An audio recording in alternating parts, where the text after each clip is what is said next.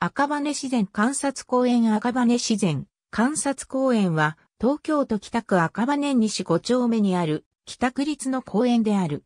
陸上自衛隊十条駐屯地赤羽分屯地跡地の一部を公園として整備し1999年4月1日に開園したものである。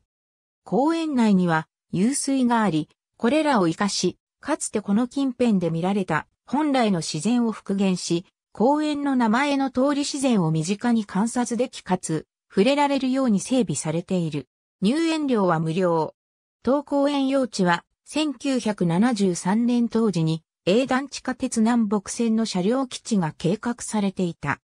車両基地は、地下二層構造で、地上部には、車両搬入口、油庫、換気口などを整備し、残りは、副土して住民への公園、避難場所とすることが計画されていた。しかし、周辺住民の激しい反対運動が展開され、英断地下鉄は車両基地計画を断念し、本地区は自然公園として整備されることとなった。面積54,020メートルに4月から9月まで、午前8時から午後6時まで、10月から3月まで、午前8時から午後4時30分まで、いずれも入園は閉園時間の30分前まで。休園日はなし。ありがとうございます。